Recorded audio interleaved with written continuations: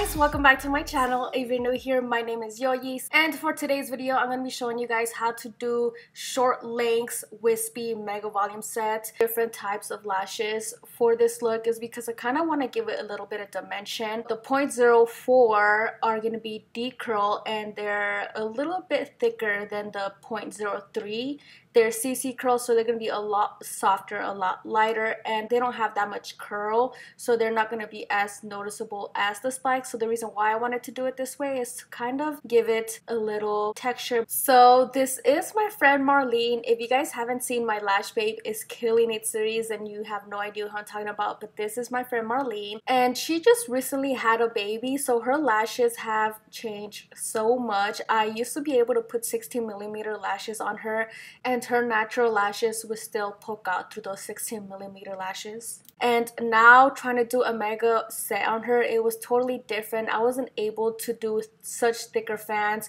or longer lengths on her without feeling like I was going to damage her lashes. So the whole video is pretty much around me trying to keep the health of her lashes good, if that makes sense. So always keep that in mind when it comes to doing a mega set on your clients. You don't want to be putting in really, really thick fans and long lengths on your clients knowing that their natural lashes won't be able to handle the lengths or the weight of those extensions. So always keep that in mind when it comes to a mega volume set. Okay, so now you already know I'm gonna prep and prime my girl. So I'm pretty much just gonna be washing her lashes, making sure to take off all that makeup because as you can see, she had makeup on her eyes, even though there wasn't any on her actual eyelashes. I always make sure to wash their lashes just in case any foundation or concealer gets on their lashes or even any eye creams if they're not wearing any makeup. So make sure to take that extra time to clean out your client's lashes. I feel like this has helped me out so much, especially with retention. Not only do I wash their lashes, I also prime them with the Soko Lashes Primer. And the reason why I tell you guys to wash and prime their lashes, especially prime after you wash your lashes, is because as you can see, there's leftover mascara that I didn't clean off with the cleanser. And stuff like this happens all the time where you don't notice that you didn't clean their lashes right and they still have some kind of strip lash glue or mascara left over on their lashes. So I take that extra time to really get in there with that primer if they really need it and just use that as like a double cleanser to get everything out of there and make sure that the lashes are ready to go nice and prime nice and squeaky clean. Again guys always make sure to take that extra time. Okay guys now for the complicated part. If you guys have never done a doll eye type of styling then I recommend to learn that first before you try to actually add spikes or make your life even more complicated by trying to learn doll eye with spikes it's just it's gonna be a hot mess for you. So I feel like this will be easy peasy if you already know how to do this type of styling. All you have to do is add in the spikes. Very simple. But it doesn't help that I made this styling very complicated for you guys. By complicated I mean that I wrote it like a hot mess on the eye pads. I am gonna have it here. I'm gonna slow it down for you guys and actually write it down here for you guys exactly the numbers that I use. That way I don't complicate it even more.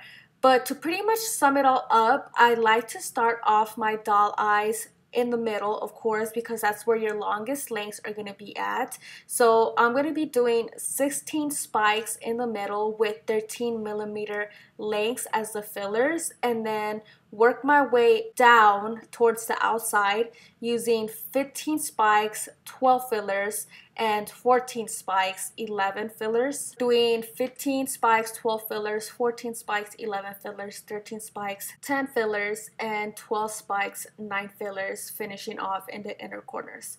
So again, guys, I'm going to freeze it here for you guys and explain more in detail because I know that sounds a little complicated, but once you see it actually written down, then you'll know exactly what I'm talking about.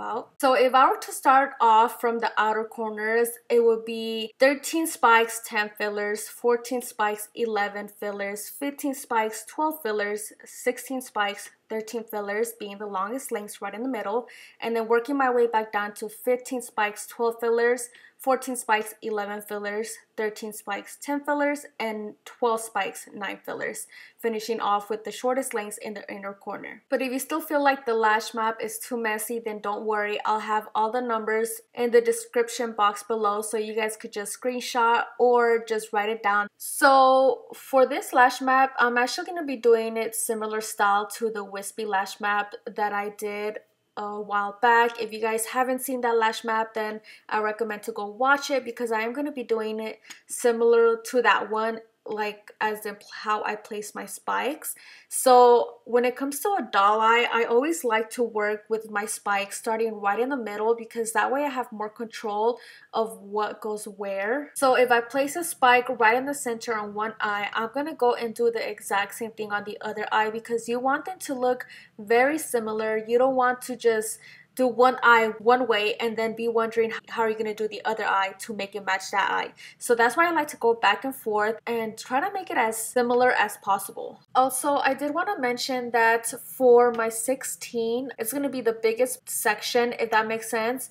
And I'm going to be adding four spikes within that section. As you can see, I'm just going to be every three to four lashes I'm going to be separating and I'm going to add a spike but within that section 16 I'm going to be adding four spikes and then all the other lengths are going to have two to one spikes in it. Since I want the center of the eye or the lashes to be the center of attention that's going to be the longer lengths. So I want to add more of that section more lashes in that section to pretty much open up the eye and give it that doll eye effect that is the whole point of the doll eyelashes, if that makes sense. As you can see, I have four spikes within that section 16, and that is going to be all the drama right there, right in the middle. So now I'm going to be working my way down the outer corners, and on the outer corners, I'm going to be adding two spikes for each number, and on the inner corners, I'm going to be adding one spike for each number and I'll show you guys in a bit exactly what I'm talking about and why I did this for this set in particular. So my friend Marlene, like I said, she just recently had a baby and she lost half of her lashes. There's not that many lashes that I could work with. So the reason why I'm doing it very light is because I don't want to damage her lashes. So if you have a client that does have a lot more natural lashes, then add as many spikes as you want. If you want it to be dramatic, add more spikes. But with Marlene, I was trying to leave enough lashes for me to actually add Mega Volume fans in there. So that's why I decided to just not add so many spikes since there wasn't that much to work with. So now I'm just going to finish off the rest of the spikes and then start working my way in the inner corners. And again, I'm only going to be adding one spike per number.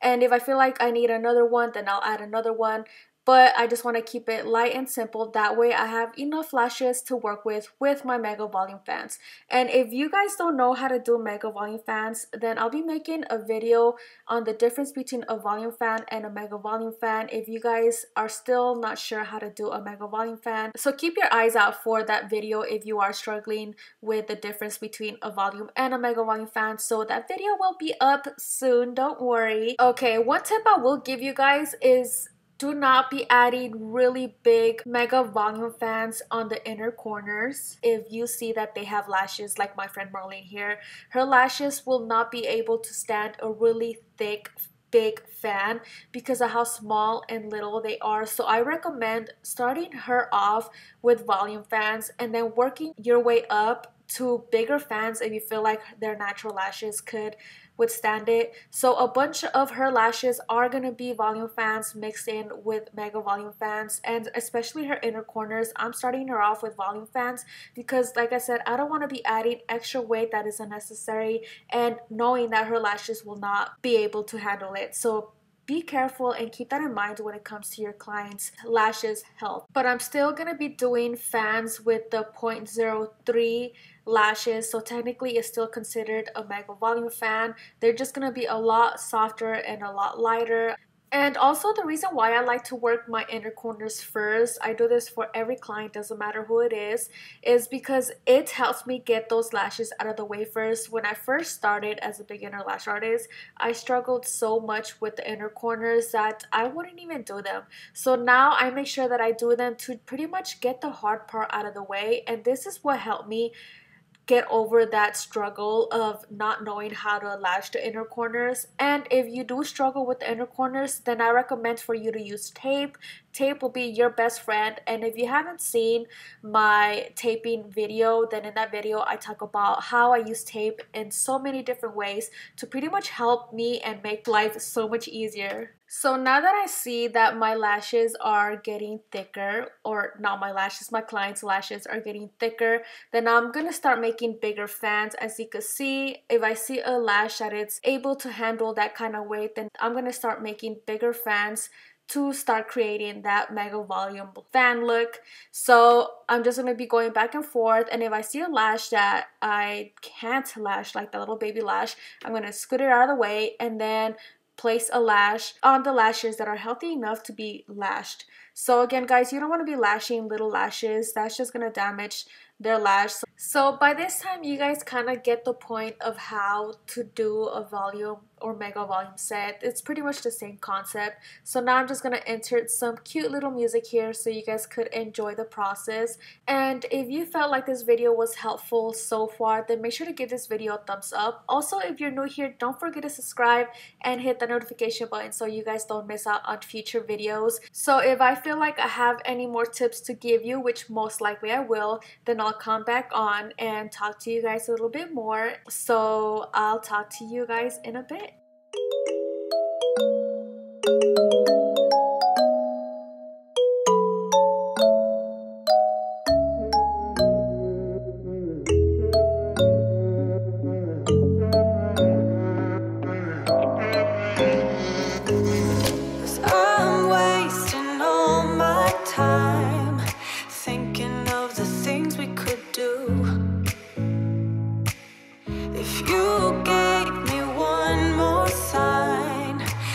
could find a way.